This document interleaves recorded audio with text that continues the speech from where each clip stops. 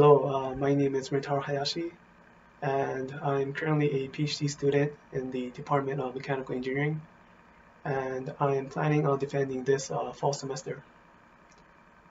Uh, so to brief, briefly uh, describe my research, I am currently uh, designing, building, and uh, conducting experiments that involves robots and sensors um, that operates in highly viscous silicon oil.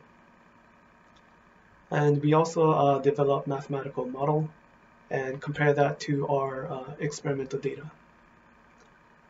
Uh, so in our lab, we are interested in studying these microorganisms called uh, copepods uh, because uh, not only are they um, important to our marine ecosystem, but uh, because they're also um, able to efficiently swim, feed, and sense in their environment.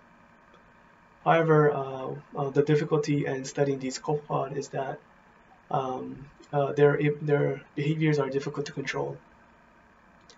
Therefore, um, a scaled up experimental model of these uh, copepod uh, behaviors have been developed in order to provide a more controlled uh, experiment.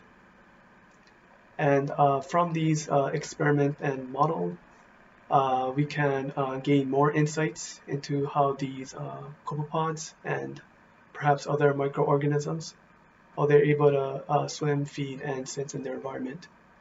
And also, um, this research may perhaps um, inspire future designs, such as for uh, microfluidic uh, devices. so that's a brief description of my research, and um, thank you for your time.